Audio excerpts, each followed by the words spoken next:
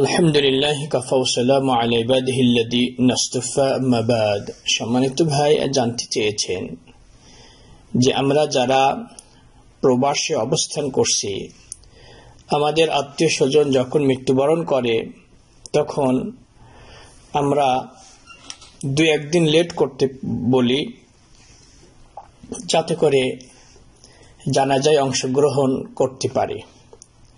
অথবা অনেকেই অতি দ্রুত বেগে দাফন করে দেয়। তার দু একদিন পরে আত্মস্বজন বাড়িতে পৌঁছার পর তার কবরের কাছে গিয়ে কি জানাজার নামাজ পড়তে পারবে? এই ক্ষেত্রে ইসলাম কি বলে? অকল আবিল্লাহ তৌফিক। প্রত্যেক প্রাণী সম্পন্ন জীবকে একদিন আগে আর পরে মৃত্যুবরণ করতেই হবে।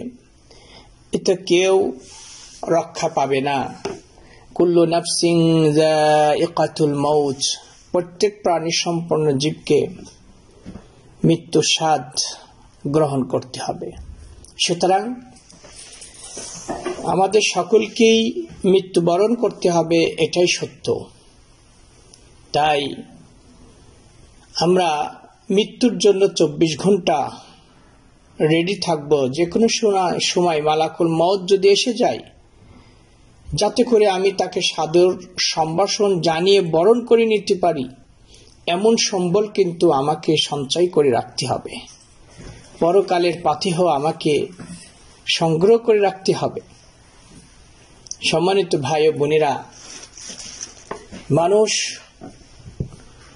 যখন মৃত্যুবরণ করে, মৃত্যুবরণ করার পর সুন্নাত হচ্ছে অতি দ্রুত বেগে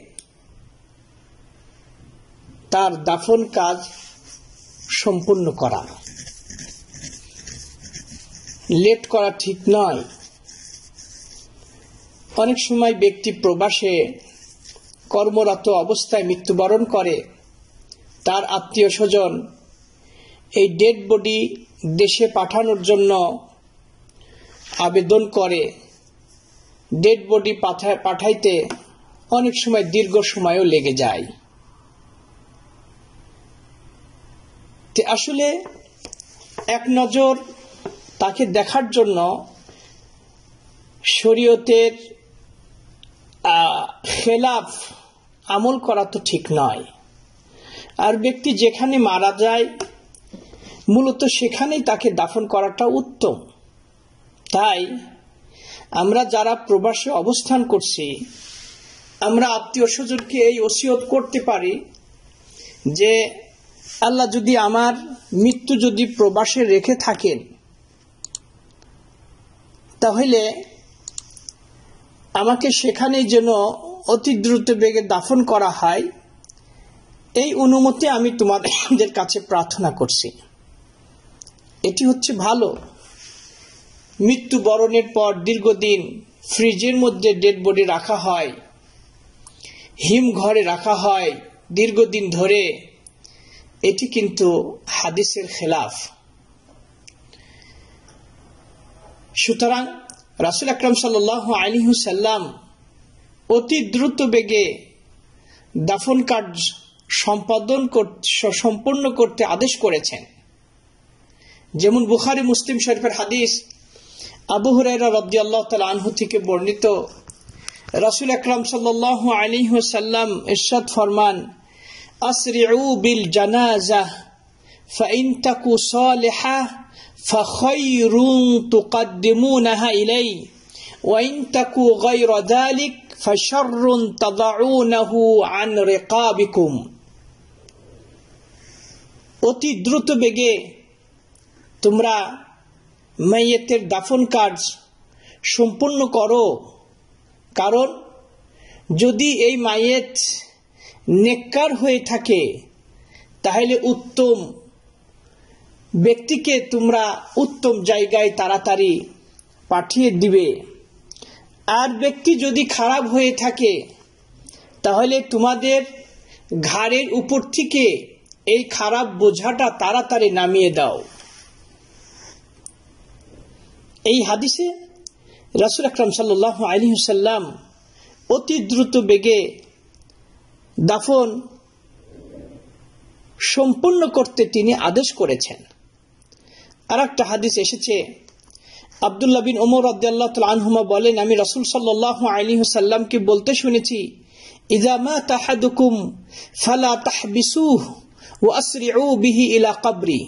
যখন তোমাদের কেউ মৃত্যুবরণ করবে তখন তোমরা লেট করবা না তাকে আটকে না রেখে অতি দ্রুত বেগে তোমরা কবরস্থানে তাকে দাফন করো তবরানেতে হাদিসটি বর্ণিত হয়েছে সনদ হাসান যেমন এবনে হাজার আসকালানে রহিমহল্লা ফাতহল বাড়িতে উল্লেখ করেছেন وقال আলিশ المالكي رحمه الله قال العلماء رضي الله تعالى عنهم والمراد بالإسراع بالجنازة অতি দ্রুত বেগে এই জানাজাকে জানাজা সম্পাদন করা এটার অনেকগুলো অর্থ হইতে পারে অতি তাড়াতাড়ি গোসল করানো এবং দাফন করা এবং যখন কবরস্থানে নিয়ে যাওয়া যাওয়া হবে, তখনও একটু দ্রুত বেগে নিয়ে যাওয়া বোঝানো হয়েছে। তবে এমন দ্রুত বেগে যাওয়া উচিত নয় যে পিছনে যারা দুর্বল লোক রয়েছে, তারাই জানা জানাজা অনুসরণ করতে পারবে না, এমনটি যেন না হয়। শেখ উসাইমিন রহিমহল্লা তিনি বলেছেন যে অতি দ্রুত বেগে জানাজার নামাজ সম্পূর্ণ করাটা উত্তম। এবং এই ক্ষেত্রে অনেক আত্মীয় স্বজন যারা বাহিরে থাকে, মাইয়াতকে দাফন করতে, তারা লেট করতে যে বলেন, এটি হচ্ছে সুন্নাতের খেলাফ।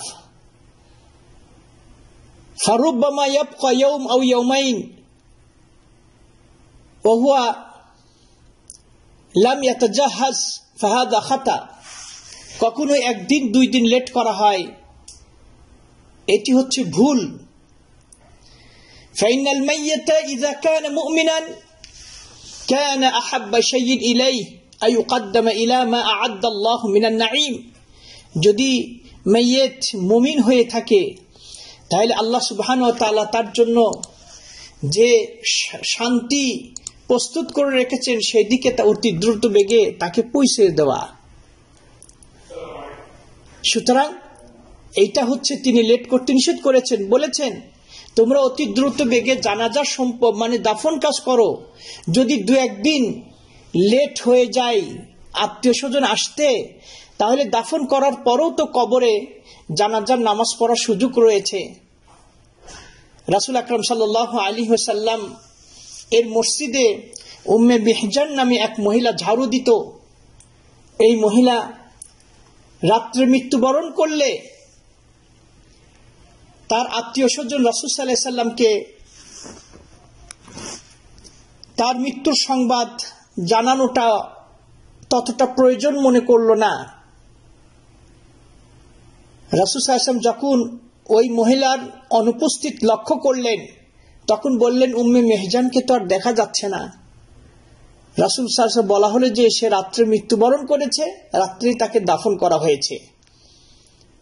রাসুল সাল্লাহ সাল্লাম একটু ধমক দিয়েই বললেন, হাল্লা কুন্তুম আলাম তুমনি কেন তোমরা আমাকে সংবাদ দিলে না? এইভাবে রসুল সাহসাম তাকে ধমক দিলেন। তাদেরকে সুম্মা কল অত বললেন, দুল্লুনি আলা কবরিহা। কোথায় তাকে দাফন করেছ আমাকে বলো? অথবা রসুল সাল্লাহ সাল্লামকে তার কবর দেখানো হলো, সেখানে তিনি গেলেন, অতপর তিনি জানাজার নামাজ পড়লেন। সুতরাং শেখ উসাইমিন রহমুল্লাহ বলেছেন যে, কবরে দাফন করার পরও যেহেতু জানাজার নামাজ পড়ার সুযোগ আছে, সেহেতু লেট করা ঠিক নয়। মাইয়াতকে দাফন করার পর আপনি কবরে জানাজার নামাজ পড়তে পারেন। জানাজার নামাজ পড়তে পারেন তবে এই ক্ষেত্রে কোনো সময় কি নির্ধারিত আছে যে মাইয়াতকে দাফন করার কতদিন পর্যন্ত তার কবরের পাশে যে জানাজার নামাজ পড়ার অনুমতি আছে? হ্যাঁ এই ব্যাপারে বেশ কিছু উলামাইকেরাম বলেছেন, সর্বোচ্চ সময়সীমা হচ্ছে এক মাস। এই সপক্ষে কিছু আসার বর্ণিত হয়েছে এবং হাদিসও বর্ণিত হয়েছে। প্রথমত, মাইয়েতকে দাফন করার পর তার কবরে যে জানাজার নামাজ পড়া যায়, এটি বুখারি মুসলিম হাদিস দ্বারা বর্ণিত। যেমন ওই উম্মি মেহজান যে রাসুলের কবর ঝাড়ু মসজিদ ঝাড়ু দিত, এই মহিলা মৃত্যুবরণ করলে রাসুল সাহসান তার কবরস্থানে যে জানাজা নামাজ পড়লেন এটি বুখারি মুসলিম শেফের হাদিস। দ্বিতীয়ত, আনাস বিন মালিক রদি আল্লাহ আনহু, তিনি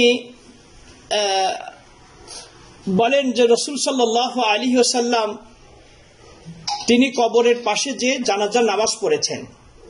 তদ্রুপ সাইদ ইবনুল মুসাইব রহিমাহুল্লাহ তিনি বলেন যে আন্না উম্মে সাদিন মাতাত النبي صلى الله عليه وسلم غائب فلما قدم صلى عليه وقد مضى لذلك شهر সাইদ ইবনুল মুসাইব বলেন উম্মে সাদ নামে এক মহিলা মৃত্যুবরণ করল রসুল সাল্লাম তখন অনুপস্থিত ছিলেন অতপর যখন তিনি আসলেন এসে তার কবরের কাছে যে তিনি জানাজা নামাজ পড়লেন, আর এই জানাজাটা তিনি পড়েছিলেন অকাদমাদ আলী আলিকা সাহার তাকে দাফন করার এক মাস অতিবাহিত হওয়ার পর। হাদিসটি তিরমিজিতে বর্ণিত হয়েছে এবং ইসনাদহু মুরসাল সহি। এটি হচ্ছে ইবনে হাজার আসকালানি তিনি আত্মাল খিসে এই কথাটি উল্লেখ করেছেন। তবে দারকুতনি এবং বাইহাকিতে এটা মানে মারফু হিসাবে বর্ণনা করা হয়েছে। যেমন আনিবনে আব্বাস রদিয়াল্লাহ আনহুমা আন্না নবী সাল্লাহ ইসলাম সাল্লাহ আলা কবর বাদা শাহার। আবদুল্লাহ বিন আব্বাস রদাল্লাহ আনহুমা বলেন, রসুল আকরম সাল আলী সাল্লাম এক মাস পর কবরের পাশে গিয়ে তিনি জানাজার নামাজ পড়েছেন। এটি কুতনিতে হাদিস বর্ণিত হয়েছে। তদ্রুপ রাসুল সাল্লাম থেকে এটাও বর্ণিত হয়েছে জানেন নবী সাল্লাহ সাল্লাহ আলামাইয়ত বাদা সালাস। রাসুল সাল্লাহ আলী সাল্লাম তিন দিন পরে তিনি মাইয়াতের কবরের পাশে যে জানাজার নামাজ পড়েছে। আর একটা হাদিস বর্ণিত হয়েছে জায়দ বিন সাবেত রদ্দাল্লাহ আনহুমা। তিনারা বলেন যে আমরা একদা রাসুল সাল্লাহ সাল্লাম সঙ্গে বের হলাম, অতপর রাসুল সাল্লাম একটা নতুন নতুন কবর দেখতে পেলেন। ফকল মা হাদা কলু হাদিহি ফুলানা মৌলা বানি ফুলান। অমুক গোত্রের এক মহিলার কবর এটা। অতপর রাসুলকে পরিচয় করিয়ে দেওয়া হলে তিনি চিনলেন তাকে। মাতা জহরান ওয়ান্তা নায়েম কয়েল। তারা বলল যে, এই মহিলা জহরের সময় মৃত্যুবরণ করেছে। ছিল, ওই সময় আপনি কাইলোলা করতেছিলেন, একটু রেস্ট নিচ্ছিলেন। এই জন্যই, ফালাম নহিব আর নৌকে দাকা বিহা। এর মহিলা জানাজার নামাজ পড়ার জন্য আপনার ঘুমের আমরা ডিস্টার্ব করব, এইটা আমরা পছন্দ করি নাই। ফাকম রাসুল সাল্লাম ওসফান নাসা খলফা। রাসুল সাল্লাম দাঁড়াইলেন এবং রাসুলের সঙ্গে যারা ছিলেন, তারাও রাসুলের পিছনে দাঁড়াল। ওয়াকাব্বার আলাইহে আর বা রাসুল সাল্লাম তিনি চার চার তাকবির দিয়ে জানাজার নামাজ পড়লেন। শেখ বিনবাস রহিমাহুল্লাহ, তিনিও বলেছেন যে هذا الحديث فيها تحديد الصلاة على الميت بعد موته في حدود الشهر এই উপরোক্ত হাদিসগুলো এইটি হচ্ছে মানে এটা সময় নির্ধারণ করে দেওয়া হয়েছে যে মাইয়েতকে দাফন করার পরে চল্লিশ দিনে এক মাসের মধ্যে জানাজার নামাজ পড়া যায় এই সুতরাং এক মাসের মধ্যে জানাজার নামাজ পড়াই যায় যা হাদিস দ্বারা আমরা বুঝতে পারলাম। আল্লাহ সুবাহান তালা আমাদের সকলকে প্রতিটি ক্ষেত্রে কোরআন সুন্না থেকে সমাধান জেনে সে অনুপাতে আমল করার তৌফিক দান করুন।